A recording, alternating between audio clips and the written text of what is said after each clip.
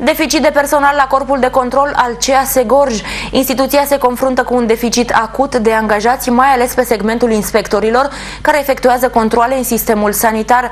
Angajații unității fac față cu greu atribuțiilor de serviciu, iar posturile nu pot fi deblocate până anul viitor, potrivit conducerii instituției.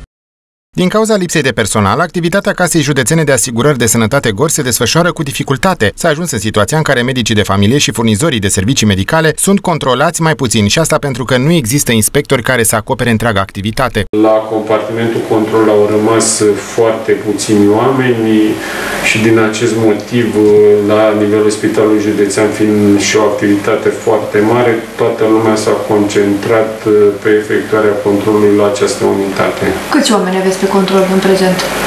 În prezent avem patru oameni, de la 1 decembrie se pensionează un coleg, o să rămânem cu trei oameni. În cadrul instituției, potrivit organigramei, ar trebui să fie șase posturi de inspector de control, însă în prezent doar trei dintre acestea sunt ocupate. Este puțin având în vedere că prin uh, organigramă avem prevăzut un număr de șase posturi și până la mijlocul anului, să zic așa, am funcționat cu șase posturi.